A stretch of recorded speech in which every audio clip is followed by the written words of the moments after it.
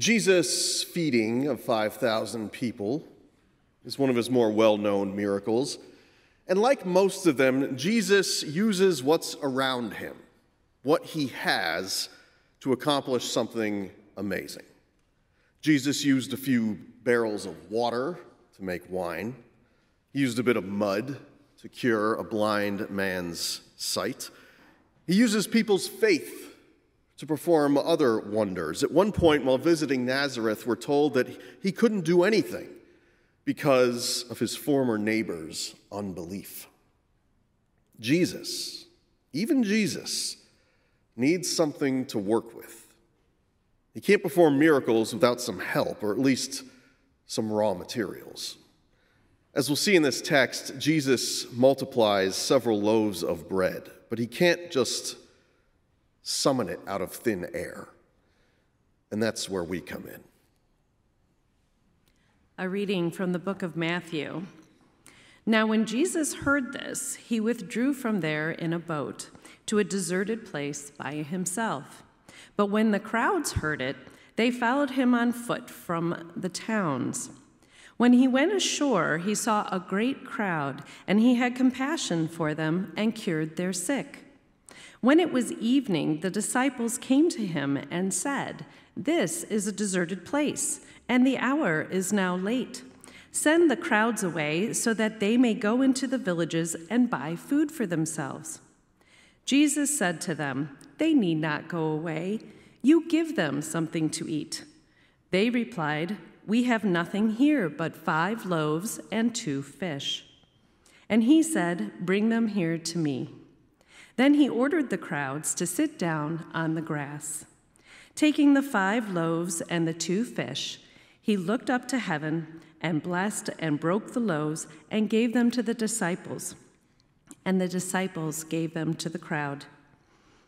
And all ate and were filled, and they took up what was left over of the broken pieces, twelve baskets full. And those who ate were about 5,000 men besides women and children. Hear what the Spirit is saying to the church. Amen. Please pray with me. Everlasting God, may the words of my mouth and the meditations upon all of our hearts serve to glorify you, and may they be in keeping with the teachings and the ministry of Jesus Christ, in whose name we pray. Amen. Potlucks receptions, cocktail parties, Sunday brunch, Oktoberfest. Whatever the occasion, you can rest assured that you will enjoy the finest cuisine when folks from this congregation throw a party. This church knows how to cook. I don't. But I've really been expanding my repertoire over the last few months. In addition to making peanut butter toast and bologna sandwiches. I can now boast a few other culinary delights like hamburger helper.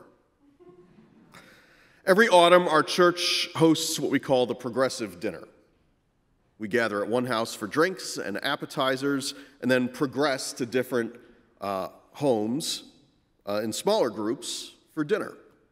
While the folks hosting dinner prepare an entree, everyone else brings an appetizer or a side dish or something sweet and last year, I signed up to bring a side dish to complement the main course. I was discussing this uh, ahead of time with Sherry Flugel, who was uh, hosting appetizers that year, just a few days before the event. What are you planning to bring to dinner? She asked me. I was thinking I would just maybe bring a baguette. I replied, Seth. She explained, like a mother gently correcting her children. You can't just bring a baguette to a potluck. A plain baguette from Jewel Osco is not a side dish. That's true, I said. A baguette is so much more. Warm and crusty on the surface, soft and inviting beneath. It only costs a couple of dollars, but it's enough to feed several people. And its culinary potential is endless, sliced and buttered alongside a crisp salad or a bowl of pasta. A warm ham and cheese sandwich on a November afternoon with a cup of tomato soup. Sliced lengthwise with a bit of sauce and cheese, you can even make your own French bread pizza, though I have not been bold enough to attempt anything that fancy myself. I had a friend in college, an atheist, who was persuaded of God's existence after eating a banana. For some reason, he found it to be a compelling argument for intelligent design. For my part, I think the baguette is a better candidate. I know God didn't invent it per se, but what else could create the people that did? Anyway, feeling a little unsure of myself at this point, little insecure about my offering, I called the host and asked her what kind of side dish I ought to bring. Oh, just a baguette would be fine, she replied. I never felt so vindicated in all my life. I have to wonder, though, if she only said that because her expectations were so low. I think everyone knows I tend to show up to these sorts of things with pretty disappointing fare, like the time I brought a wilted salad that I'd put a dressing, uh, the dressing on the day before and left in my refrigerator overnight, or the time I'd stop by a local bakery before a church event, uh, only to find out they didn't take credit cards, and you know the cupcakes were a little bit pricey, and I only had a little cash on me, so I showed up to the party with just one of them. As I arrived at the gigantic spread of artisanal cheeses and biscotti, the bowls of homemade artichoke dip, the plates of imported salami, and steaming teriyaki meatballs, I placed my little cupcake at the edge of the table, feeling like I hadn't contributed much of anything at all.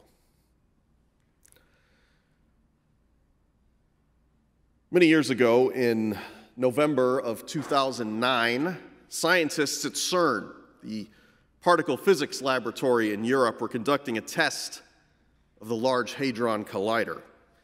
I can't pretend to understand even a fraction of the science involved, but this particular accelerator is supposed to recreate the conditions of the Big Bang. Now, in and of itself, that strikes me as a little bit dangerous.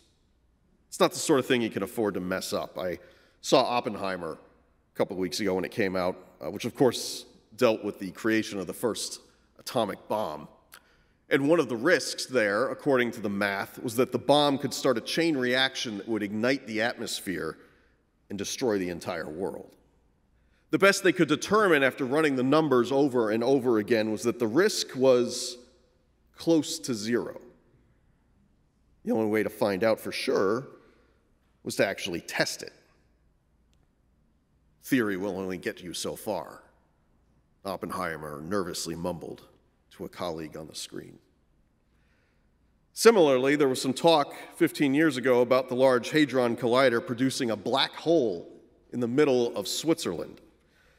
Fortunately, that didn't happen, but it speaks to the anxiety surrounding experiments like these. You don't want to mess them up.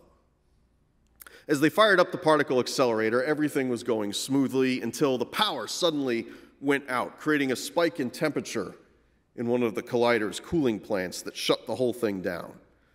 And upon investigation, it was discovered that a small bird had dropped a few crumbs of bread into one of the compensating capacitors, creating an electrical shortage. They found the bird just outside the open panel, munching on the remains of a baguette. It was a relatively minor setback, and the world did not end that day. Even so, there are some who believe that the incident triggered a split in reality, sending the entire world hurtling into an alternate timeline. Sounds crazy.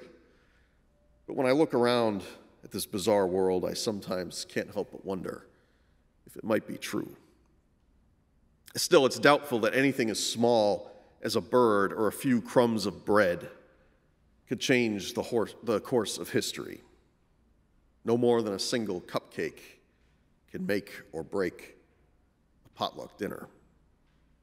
There's a lot of proverbial wisdom about small creatures accomplishing great things. J.R.R. Tolkien wrote, Such are the course of deeds that move the wheels of the world.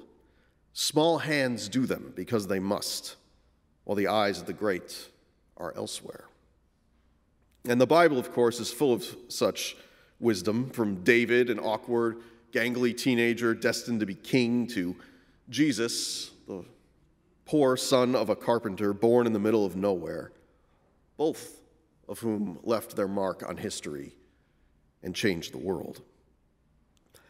It's a common theme in Jesus' parables, too. Jesus says that the kingdom of heaven is like a mustard seed or a pearl or a small measure of yeast, something tiny, minuscule even, that changes everything.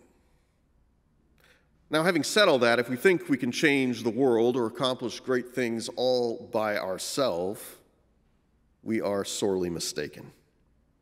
As Tolkien also wrote, only a small part is played in great deeds by any hero. And as Jesus illustrates in this story about feeding all of these people, even he can't do it alone. Jesus doesn't just create a baguette ex nihilo out of nothing, producing bread out of thin air. He can't just produce a baguette from beyond. He needs help, he needs people. Before Jesus performs his miracle, his disciples manage to scrounge up five loaves of bread and two fish, presumably gathered from the folks in the crowd. And miraculously, when a little is shared, a multitude is fed. When people share what they have, contribute even a little to a larger effort, amazing things can happen. Miraculous things. Dr. King didn't strike a blow to Jim Crow on his own. Nelson Mandela didn't put an end to South African apartheid on his own. Harvey Milk didn't pave the way for gay rights on his own. Jane Addams didn't achieve women's suffrage on her own. Only a small part is played in great deeds by any hero. The rest depend on the ones who join their cause. No one can change the world alone, not even Jesus. If he could, why take on disciples? Why preach at all? Why empower people like Peter and Paul to build a church? Because together we can perform miracles. And given the state of this crazy world that we find ourselves in, our disintegrating social contract, our eviscerated politics, our irreconcilable divisions, our burning planet, we could certainly use a miracle or two. When I think about that lonely cupcake that I left on the table at the party that night, it feels like a metaphor for much of my life and my work. Like most pastors, most people, I'm sure, I suffer from imposter syndrome.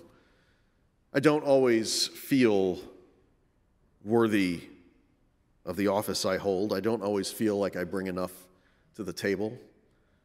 I don't always feel worthy of the tasks before me. And you know what? Sometimes I'm not. Last week, I got really sick. You can still hear it a little in my voice. Tested negative for COVID, but it was pretty bad. At first, I thought it was just a cold, but then I found myself in bed for three days, completely fatigued, nursing a headache that wouldn't go away. I slept a lot, but my dreams were plagued by minute details that looped in endless circles, like trying to reconcile a grocery receipt over and over again that doesn't quite add up, if that makes any sense. I couldn't get much done, but I had a reliable staff to depend on. As turns out, half of them also got sick, uh, but the rest of them kept the ship sailing. Thank God we don't have to do all of this alone. Now, that being said, I still had to write this sermon. You're probably thinking I'm telling you this so you won't judge it too critically.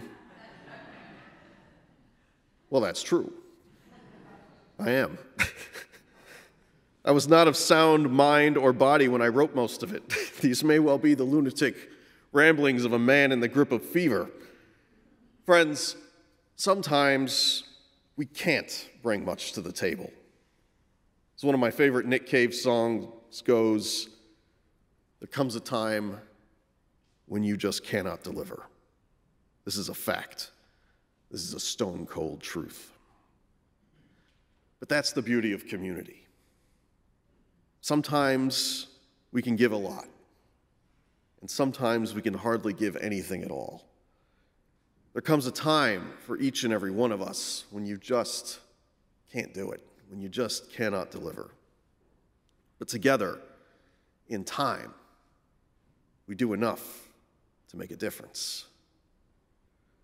This might be the remnants of the fever talking, but having recovered, it still rings true. We are like the breadcrumbs of a great and wondrous baguette from beyond.